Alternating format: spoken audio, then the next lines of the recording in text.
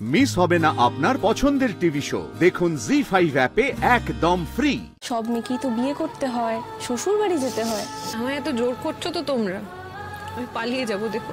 হাত ধরে পালানোর মতো কাউকে পেয়েছিস নাকি? জি ফাইভ ডাউনলোড করুন আর সব এপিসোড দেখুন একদম ফ্রি